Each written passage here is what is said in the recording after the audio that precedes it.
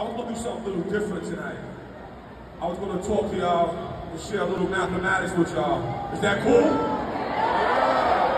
I'm talking about the pre-existence of the mathematical biochemical equation is the manifestation of rock, plant, air, fire, and water, which are in the basic formation, solid, liquid, and gases.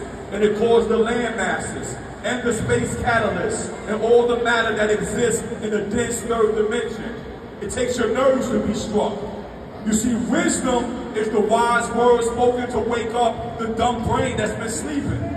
The fourth dimension is time. It operates inside your mind when the chakras energize up through the back of your spine. On the corner of my block, they stood this old man. He was a black immigrant from the land of Sudan. He always told stories to the children in the building, but never had a dollar to keep his pockets filled in.